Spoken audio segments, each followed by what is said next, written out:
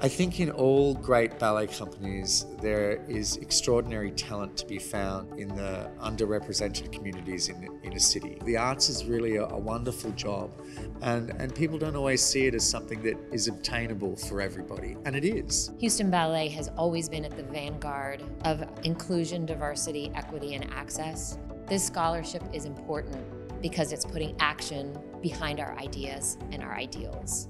Lauren Anderson, she has this way of making you feel accepted and able to be your best self. She's like my ballet fairy godmother.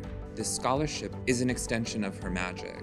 It's her being a fairy godmother to the next generation of students. To have this scholarship named after me um, means everything. I mean, I only trained at the Houston Ballet Academy. This place is, is home. This is where I've always felt safe. This is where I could really be me. This is where my dreams came true. This will give some young dancer an opportunity to reach further than they ever knew they could go.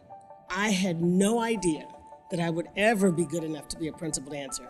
If I'd written the story, I wouldn't have written it as well as it turned out. So I would hope that this would just open the door for that type of story to be written bigger and better than the student could have ever imagined.